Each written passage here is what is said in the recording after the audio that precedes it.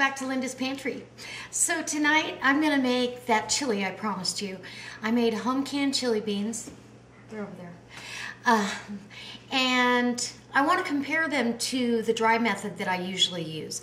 I par cook these and so I followed the blue ball canning book directions on how to do this and so I added my own chili spices and all that. You would be able to do it without it. I'll attach both videos in the um, video response section down below in the comment section and you can go back and watch those if you'd like. I'll also in the description box place my um, Facebook page as well as my Wildtree website and um, that way if you see me use a Wildtree product and you are interested in trying them you can go over there and shop if you'd like or you can go over there for ideas for recipes um, they have a great recipe section as well and um, but I, I do want you guys to know that you can replace anything that I use with your normal household products that you usually buy. So um, I hope that this inspires you to stay along. I'm going to do this on a light version. I Right after Thanksgiving, I bought turkeys on sale for 45 cents a pound. And I boned and skinned them and made my own ground turkeys. So um, I'm going to use that as my meat content for this chili. And that way we'll get a good flavor for our chili beans. And uh, then I can share it at work or just keep it around. The husband's coming home. All right.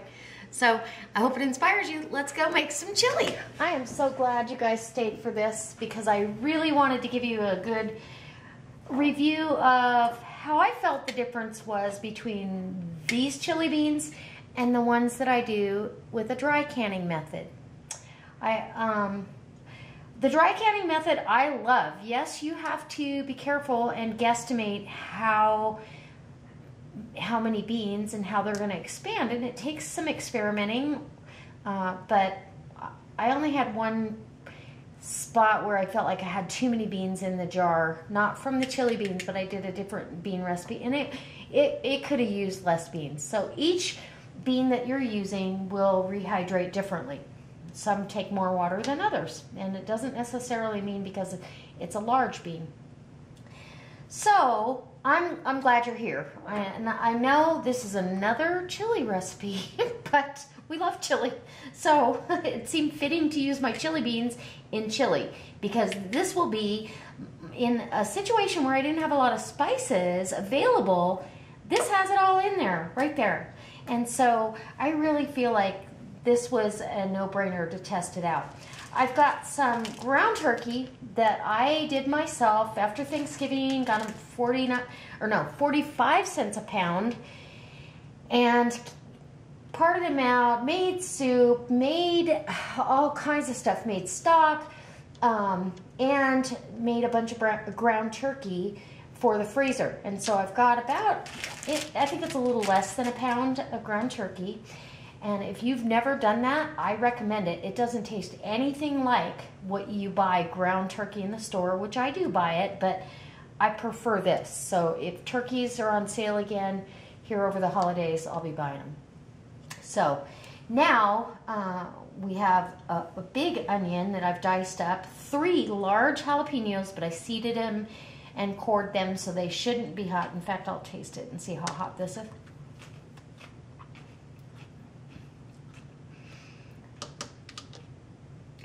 It's warm, but it's not hot.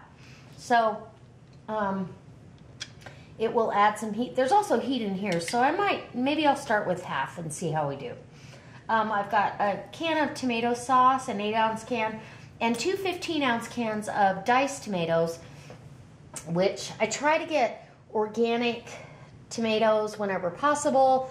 I try to get no salt added whenever possible. That's just my preference, but I'm going to ground or brown up this ground turkey and we'll take you over to the stove and let you see how that goes and we'll just get started on this. It, I, I don't think chili could be any simpler. It's just easy and delicious. So, okay, so. I've got my bean pot screaming hot. I'm going to put down some grapeseed oil to get this turkey started. Um, I use both light and dark meat in my ground turkey. Uh, and this is the smoky bacon flavored grapeseed oil. Who doesn't love bacon? And I get flavor from it without the guilt. This is healthy for our family. So I put the grapeseed oil down, maybe a tablespoon, and it's really just to get this ground turkey started. Um, that jalapeno, I just had a little tiny bite. I'm probably gonna use, I'm gonna start with a quarter of that amount. So it was a little spicier. The last jalapenos I bought weren't spicy at all.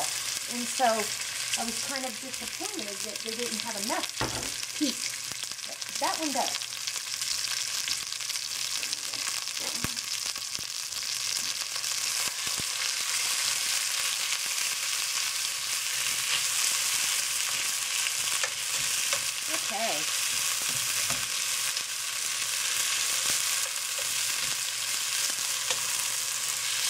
It kind of feels odd not spicing things up as I go and layering the flavor, but all the spices should be right in that jar of beans that I canned. So it really saves you time and money in the long run.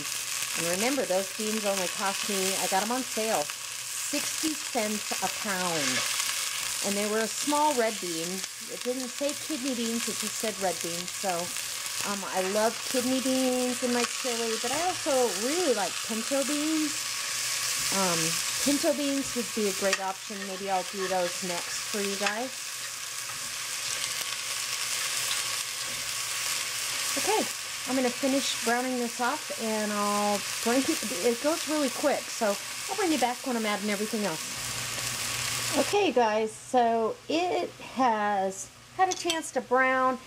There's really no fat left in here. Um, there's some water, you know, that the turkey lends off, but no fat to drain off, which is super nice. I haven't drained fat off of a ground meat of any kind in years, but um, just because we try to eat pretty lean if we can.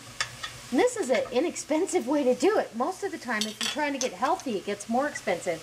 But when you do it yourself and take the extra moment to make an afternoon with your family and, you know, take some ground turkey a couple times a year and make your own. And you can can this. I, I was going to use canned ground turkey, but um, I thought, no, I want to use this because I love the flavor. So, that being said, I'm going to add in my onions, and part of the jalapeno. So you can see that going down. And we'll let the onions kind of sweat in there. I'm, I'm going to keep the whole onion, but I'm going to try to measure off maybe a jalapeno. And I'll save the jalapeno for some fresh salsa or maybe some, you know, put it in some cornbread, something, if I decide not to use it. Sometimes after you've cooked them, they mellow out a little bit. So usually they're not this warm, but that one was a little that had a bite. And I always use gloves. You guys know that to cut them up. I'm not I'm not okay with getting that oil on my contacts and then the next morning having a horrible morning trying to get them back out of my eye. So, so I'm going to let this go just for a minute and I'll bring you right back when um, it'll probably to get these onions to kind of soften up and become translucent it'll probably be hmm, three minutes five minutes tops and then I'll have you right back and we'll uh, get with the sauce all right so now I've got to grab something here I'm sorry um, I'm going to put in the tomatoes and the sauce. And I'm going to get the beans open, get those in. I'm excited. And we'll see if we need any more of anything else. The meat is cooked all the way through, so that's really fast food my way. Um, some diced tomatoes. We go through so many diced tomatoes between what I can and what I buy, we go through a lot. And I probably will need some more sauce, but we'll see in a minute. I want to add the beans in. I want this to be a thick chili. And, oh, I'm going to make a special treat for you guys with this um, tomorrow. So you'll have to stay tuned for that. Okay, now I have my canned chili beans and they look delicious. You can see the chunks of the onion, the red bell pepper.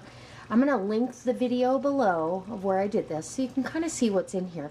There's garlic and onion and peppers and the there's only a half a serrano pepper in there. But peppers, sometimes they tend to intensify in heat as they're cooked. Or the canning process sometimes will intensify certain spices and flavors. So, you can change out any of these ingredients. I'm just trying to give you a review on these beans and how they came out. Comparison wise, in tenderness and boy, you know, um, my other ones are like our favorite. And chili beans, a 15 ounce can. And I've got right here to this full fill line, does that say 16 ounces to that fill line. But a 15 ounce can of like ranch beans is 75 cents or 80 cents in the store. Some plain beans are over a dollar. So watch for the seal. Whoa, that was a good one. Mmm, smells delicious. Ooh. Oh, it smells so good. Look at that. Okay, I'm going to pour that right down in there. And look how beautiful. Now, you've got a lot of spice and stuff, so I want to get all that out. Just like I would if it was a, let's say a can of pasta sauce or something. I want to get all that spicy stuff out of there. Don't waste it.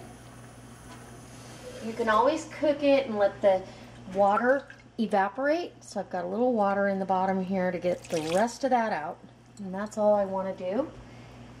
Now, pretty much, other than simmering for a while, this chili is done.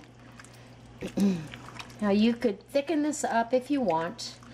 Um, I'm going to let it kind of evaporate on its own. You got these beautiful chunks of tomato. It's just a really hearty chili. I'm excited. It smells amazing. I cannot wait. Well, maybe I can't wait. And that pint and a half of beans, it's not overloaded with beans. It's perfect for this little pot. And this is enough for, gosh, if you split this up in for three or four hungry guys and some cornbread or some, you know, muffins of some sort or turn this into a tamale pie and feed even more people. Um, still pretty reasonable. You're looking at 60 cents a pound for the beans. The turkey was a whole 45 cents a pound. Um, the jalapenos, let's see, I used uh, probably one and a half because I cheated and put some more in. And an onion. Oh my gosh. This is way reasonable. I'll try to figure it out before I'm done with this video and do the math for you. And then the tomatoes that we put in there. So I'll bring you back when this has had a chance to simmer and kind of let go of some of that um, water and let it evaporate a little bit. Just reduce down. Alright guys, didn't look pretty and mm, it smells amazing. I cannot wait. I'm hungry and I want to taste it. Alright, I'll be right back. Okay, so now that I'm really hungry, I mean, I, I'm starving. It's, it's kind of late. It's been snowing off and on and I still don't think this is reduced enough, but it's definitely cooked long enough. And if you wanted way more beans, add another can. I'm going to hoard these beans because uh, I tasted this broth and all this and it's absolutely delicious. I have not added any spices to it, but I am going to add a thickening agent. I want this thicker. It's almost there, but it's not reduced quite enough. I don't want to add any tomato powder because I don't want to change the acidity. And I, I, don't, I just don't want to add anything that's going to change the flavor too much. So I'm going to add a couple helpings of potato flakes.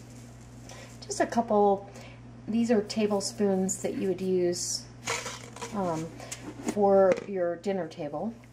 Okay, and we're going to mix that in. It isn't enough to change the flavor, but it is certainly enough to, oh, you can already see it thickening up. I mean, it might mellow the flavor a little bit. I'm going to add another heaping. I do this quite often with soups, especially if there's potatoes in it.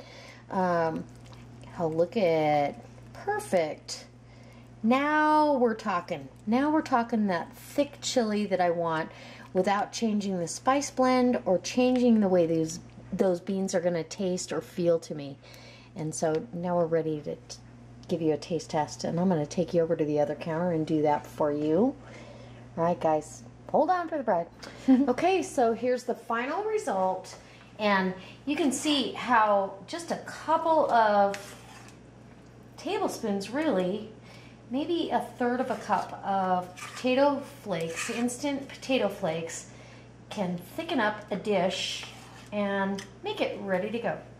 So I'm gonna go ahead and dish this up. Now, if you like more chili beans, um, add more.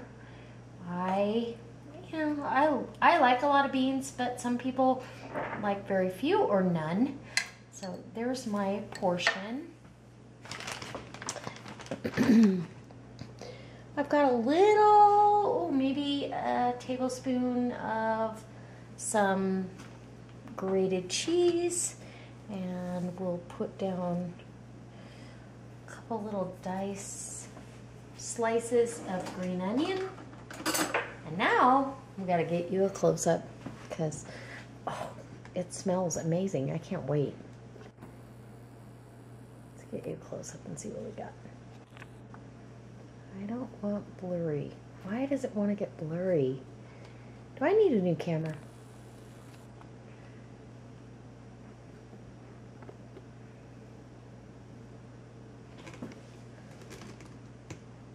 Okay. And I hope that's not blurry here. We'll give it that. Mm. So we've got ground turkey. It's very lean, very inexpensive, 45 cents a pound, and a little labor.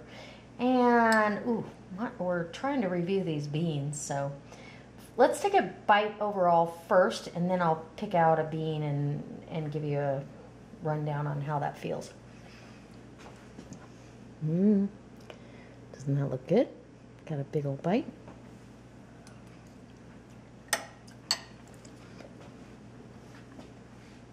Mmm.